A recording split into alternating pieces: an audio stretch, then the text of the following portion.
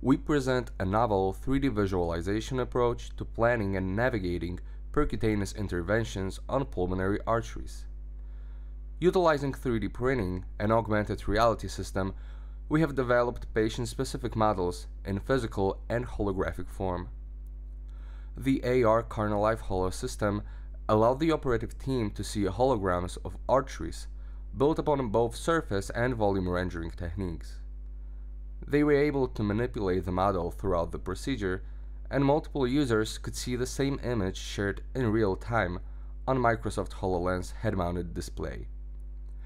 In our paper, two patients were qualified for balloon pulmonary angioplasty and chronic thromboembolic pulmonary hypertension and stent implantation for pulmonary artery stenosis. The accuracy of 3D printed model and holograms, as reported by the operative team, were very high and they were satisfied with the imaging quality.